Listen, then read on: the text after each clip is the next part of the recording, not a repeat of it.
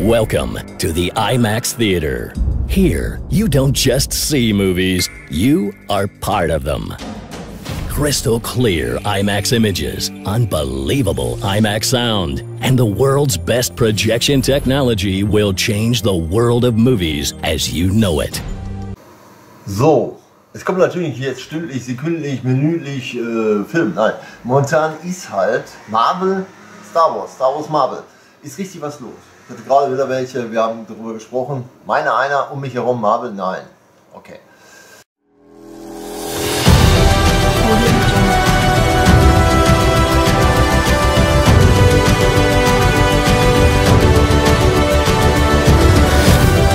Äh, Bollywood, äh, die driften dann mehr nach Bollywood. Ist okay. Also wie gesagt, meiner einer hier Marvel, wenn er sich da informieren möchte, muss es alleine machen. Wie gesagt, äh, wir haben gerade hier noch ein bisschen philosophiert, weil wir haben ja große Comic-Läden am Limbecker noch und so weiter. Und äh, wenn die Kinder dann plötzlich das Comic sehen und den Film sehen und es sieht anders aus, dann muss man denen erstmal erklären wegen den Urheberrechten. Ne? Comics, die da gemacht werden, äh, haben eine andere Urheberfrequenz wie der im Film und so weiter und so fort. Und deswegen ist manchmal die Figur etwas anders. Ja? Die hat ein anderes Kostüm an, ist aber, sagen wir, der Wolverine, aber der Wolverine sieht dort anders aus, wie er dort aussieht. Oder Iron Man sieht dort anders aus, wie er da anders aussieht. Das ist eben so.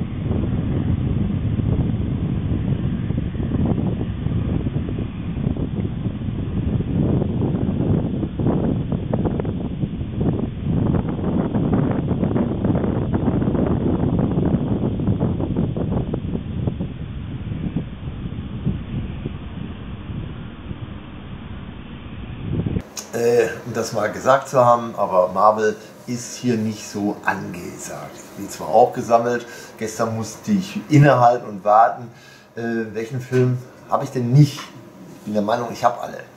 Deswegen kann ich da nicht so zugreifen. Ich freue mich schon auf Han Solo und hoffe, dass es den dann auch innerhalb von sechs Monaten zu kaufen gibt, dass ich den dann zu Hause wieder auf meinem neuartigen die Neuerrungenschaft des 3D 144 Kilohertz DLP 4500 Ansilumen, so richtig schön hell äh, und dann wirklich jede Falte sehen kann. Macht Spaß.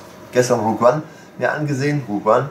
Äh, wie gesagt, ist mir auch einiges aufgefallen, weil ich dann alles sehen konnte durch dieses 3D und äh, auch durch, macht Spaß, weil die Lasertechnik, die ich da sonst immer habe, die es schon sehr lange gibt, ähm, doch ein bisschen luminanter, weniger und die Augen das auch nicht mehr so schaffen, wenn es zu dunkel ist. Das ist bei einigen 3D-Filmen war das so, oder wurde das zu dunkel. So, ich bin 100 Pro IMAX-Fan. Seitdem es IMAX gibt, war ich fast in jedem Film drin, manchmal sogar an einem Tag alle durchgezogen. Immer Platz 24, 25 in Bochum, da gab es mal IMAX neben dem Express. So, gibt es nicht mehr, Punkt. Ähm,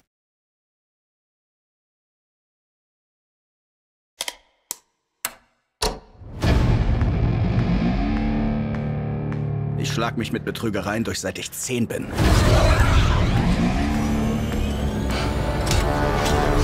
Ich bin von der Flugakademie geflogen, weil ich meinen eigenen Willen hatte. Ich werde Pilot. Besten der Galaxis. Hey, Kleiner. Ich brauche eine Crew.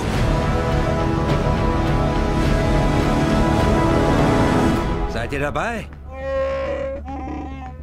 Das heißt ja.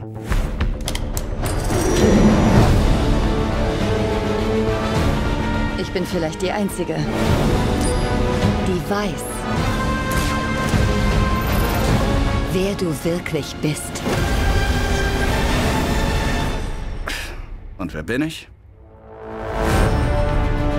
Solo, a Star Wars story. Dich bereit! Ich dachte kurz, wir wären in Schwierigkeiten, aber alles in Ordnung. Alles gut.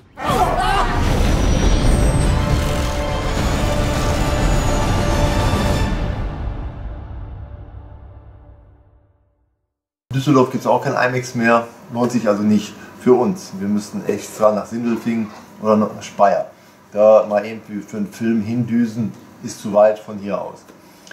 Äh, und das Museum kennen wir auch mittlerweile auswendig, die Flieger kennen wir auswendig und so weiter. So, wir bleiben bei Star Wars. Star Wars äh, ist momentan Gerüchteküche, weil jetzt neun anfängt. Es werden Babys gecastet und so, ob das alles stimmt, weiß ich nicht. Ich lese ja viel und recherchiere viel und äh, versuche dann, muss auch warten hin und wieder, dass die Deutschen das übernehmen, denn einige leben ja davon. Äh, diese so Comicbörsen oder erweitertes Universum, die arbeiten dran oder der Kanon, die gibt es ja auch, gibt ja verschiedene Gruppen, die nur von Star Wars leben, in Star Wars leben und somit äh, kann man dort doch Informationen bekommen.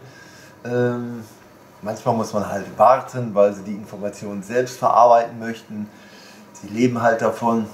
Wir hier leben nicht von Star Wars. Wir leben nicht von Figuren.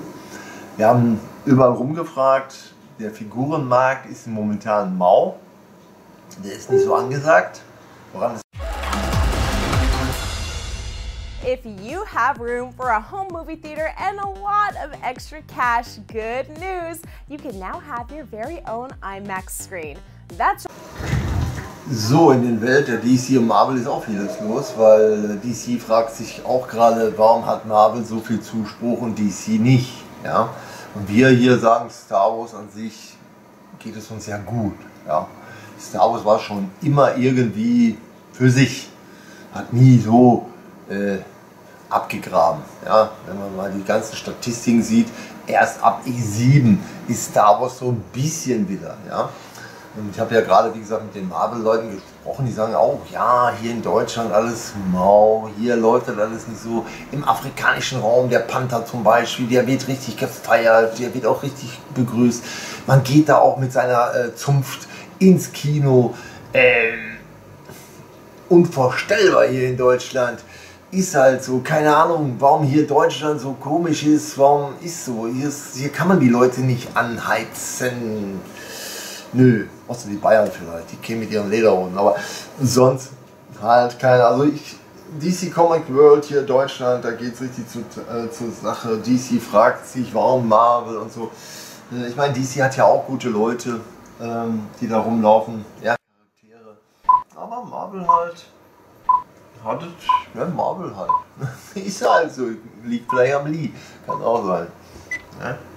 Der gut malt oder halt es gut vermarktet hat. Ist wirklich eine lange Reihe da, die sich wirklich, ja, bei DC Marvel, die diskutieren momentan. Würde mich freuen, wenn bei uns das auch mal passieren würde. Aber bei Star Wars ist ja immer so ein bisschen ruhig. Ne?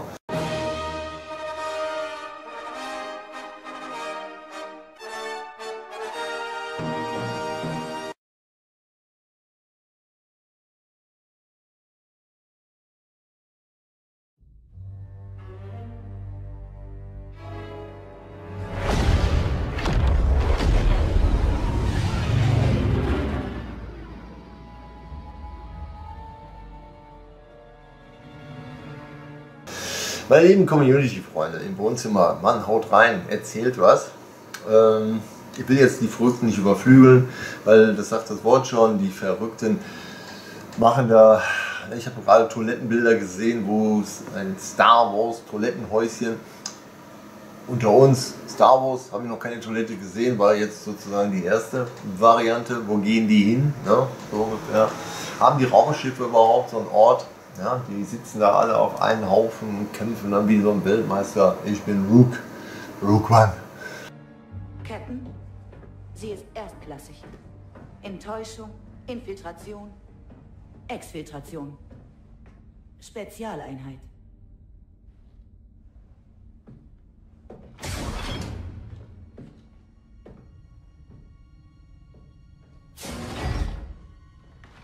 Ne? Wie, Rook One, kennen wir nicht. Doch, wir heben ab.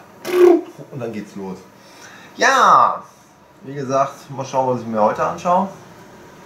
An sich könnt ihr auch wieder 8 anschauen, weil 8 habe ich jetzt so, so oft gesehen, aber durch die, neue, durch die neue Technik, die ich mir da geleistet habe, werde ich mir das etwas schärfer anschauen. Und es klappt ja jetzt alles. Es war hochgradig interessant. Ich habe also, wie gesagt, viele Techniken und äh, die neue Technik habe ich dann auch eben durchgelesen. Setzen Sie sich bitte hin, nehmen Sie Ihre 3D-Brille aufsetzen. Also ich musste die aufsetzen. Wollen wir weiter an? Aiden Versio. Inferno-Trupp.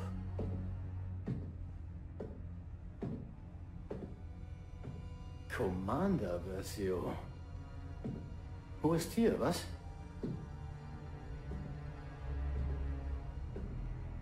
Schauen Sie mich an. Wir zwei sollten reden. Das Habe ich mich heute ein bisschen lockerer angezogen, wie man sieht. Ist gar nicht so warm. Oder ist das so warm bei euch? Also hier ist es jedenfalls nicht so warm. Leider. Aber so ist es nun mal.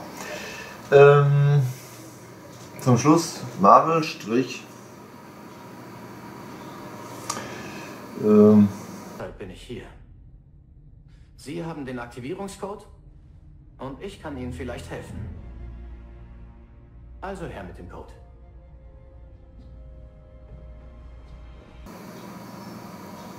Ja, wir unterhalten uns gerade über Marvel, Flash und so weiter.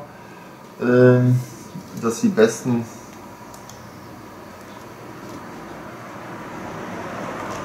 Hm, Ja, wo ich die gesehen habe, weiß ich nicht, aber egal. Ich will mich jetzt nicht über Marvel hier äh, unterhalten. Nö. Wir könnten jemanden wie Sie wirklich brauchen. Eine Hand wäscht die andere. Es ist ganz einfach. Ich kriege am Ende sowieso, was ich will. Also wie gesagt, ziemlich frisch. Ja. Weil er zu frisch ist. Ja, genau. Hallöchen.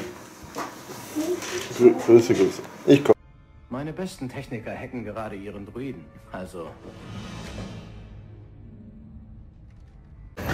wollte auf was hinaus, da kam Kundin. Ähm, 7.1 im Englisch, 5.1 DTS in Deutsch. Und wenn man so eine Anlage hat, man hat sich extra eine gekauft für 7.1 ähm, und die Deutschen bekommen dann nur immer 5.1. Eine Kollegin wollte sogar 9.1. Soll ich lasse es sein, bringt nichts, sogar mit Atmos. War wie gesagt gestern bei Saturn und sah dann, deswegen kam ich da drauf, äh, dies hier in Marvel ganz fett und in irgendeiner Stube da. Star Wars, hallo, Grüße! mein Angebot steht. Ich will nur den Code.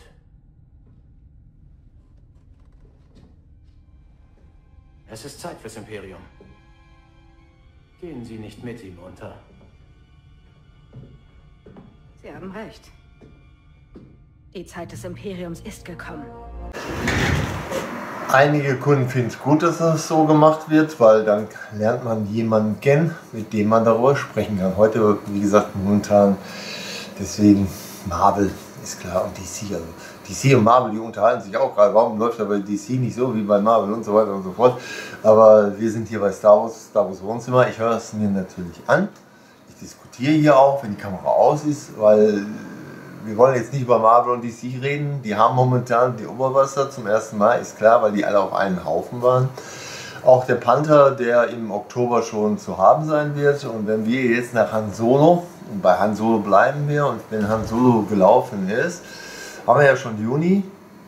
Und dann haben wir vielleicht Glück, dass wir das im Dezember schon erhalten. Weil wir müssen ja dann nicht mehr sechs Monate warten, sondern ein Jahr.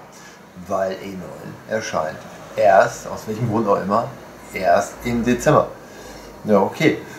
Ist immer halt so. Ich freue mich jedenfalls jetzt, am 4., na, morgen ist The Force Day. Morgen können wir wieder The Force Day machen. Vielleicht mache ich auch einen Force Day Videoclip. Mal schauen. The Force Day. The Force be with you. Na? The Force be with you. Ja, und dann am 14.04. können wir nochmal den Lukas huldigen. Dann hat er nämlich Geburtstag. Ja, dann ist auch schon äh, Han Solo da und ja, dann ist Juni und dann ist erstmal für lange Zeit Ruhe. Ja, und wir werden dann, wie gesagt, eine tolle Sendung machen über Han Solo. Damit fangen wir dann an, äh, gehen in die Tiefe, weil wir Film, ein Filmclub, Filmfreunde und so weiter möge die Macht und mit, ne? vor allen Dingen die, die die Macht mögen und auch eigene Küberschwerter besitzen. So, mit Schwitzen ist hier nichts. Ich friere mir einen weg. Ist doch gar nicht so warm wie gedacht. Ist halt so. Ja, ist halt so. Also wie gesagt, momentan ist überall ein bisschen Flaute mit Punkto äh, Figuren und so. Wir haben noch nicht Weihnachten, wir haben auch kein Ostern. Aber richtig was los. So, jetzt kommt Pfingsten, ist auch so ein bisschen ruhig. Ich glaube nicht, dass da irgendeiner eine Figur haben will. Ja, also wie gesagt, ihr müsst äh, noch ein bisschen warten mit allem, weil äh, ich sehe gerade, ich habe sogar Taschentücher, die Solo heißen, aber auch nicht schlecht. Ich stehe jetzt nicht auf und zeige sie euch, ich habe sie wirklich, die liegen hier. Vielleicht habt ihr sogar in die Tasche was schauen. Ich wollte jetzt nicht aufstehen. Ja, da ist er. Ich habe sogar Solo Taschentücher, wusste ich gar nicht. Durch Zufall, ich sehe das da gerade. Ich habe die Solo Taschentücher Edition sogar, keine Ahnung der die mir vorbeigebracht hat. Denke gerade, was liegt denn da? Ja, also ich habe sogar Solo-Taschentücher, bin ja aber Solo. Ähm, ich habe nichts mit irgendwelchen Laserschwertern, Lightsaber zu tun. Ich werde mir jetzt mal ähm, die Preise des Repliks anschauen, damit ich auch ein echter Han Solo werden kann.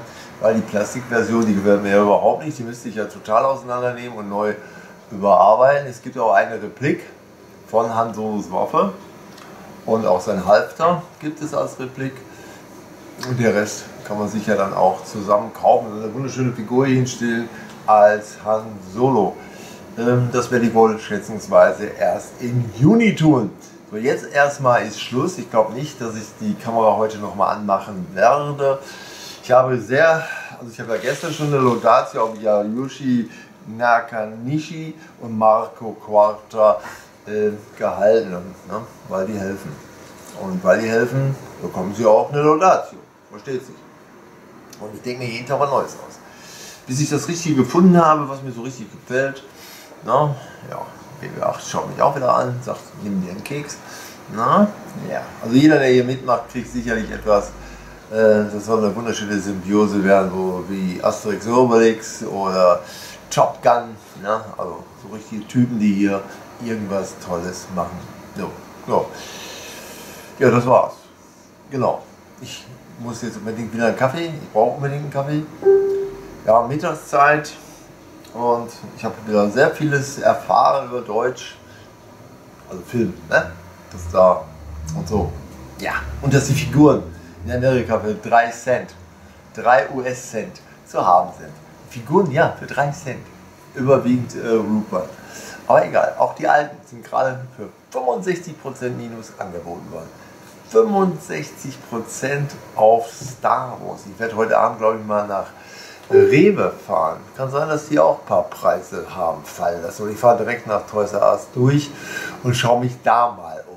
Bei Kascha habe ich gestern gar keine Interesse gehabt, weil meistens liegt da Sachen, also meistens liegen dort Sachen rum, die ich nicht, noch nicht mal meinen Kunden geben würde unterstes Niveau an Plastik. Hm. Nee, nee. Also die Kunden sollen hier schon tolle Sachen bekommen und ihr sollt vor laufender Kamera auch tolle Sachen sehen und nicht hier ähm, Spielwaren, Gedöne da, wo das Plastik, was weiß ich, in 5 Cent in der Vorbereitung war oder so. Hm, manches Plastik sieht nicht gut aus. Ja, wie gesagt, okay, zum Abschluss, bei Saturn und Mediamarkt ist ja momentan DC und Marvel, also richtig fett Überall so fett. Marvel, DC, Marvel, DC. Und so riesengroß, riesenfett. Ja, beim, beim, bei Mediamarkt und bei Saturn. Und Star Wars wirklich weit, weit weg in irgendeiner Ecke auf irgendeinem Stab, Plastikstapel da, ganz weit weg. Ja, ist, ist, keine Ahnung. keine Ahnung, ich weiß auch nicht, was mit Saturn und Mediamarkt los ist. Oh, egal, ihr seid hier richtig, hier ist Star Wars, hier bleibt Star Wars.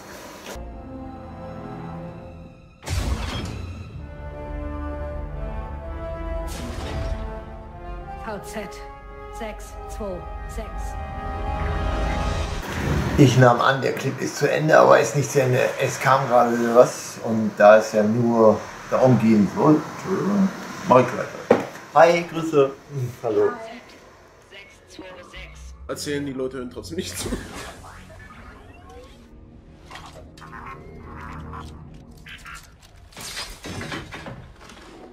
Gutes Timing.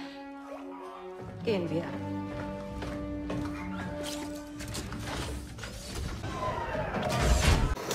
Ob ich es schaffe, es auszupacken, ich weiß es nicht. Also momentan ist viel los in der Welt DC, Marvel und so weiter. Äh, er hat nur geguckt, okay, weitergezogen. Jetzt gucken wir mal, also die Packung aufkriegen schon mal. Ah, ist? Ey, cool. Eine ist schon mal gekommen. Cool, eine ist schon gekommen.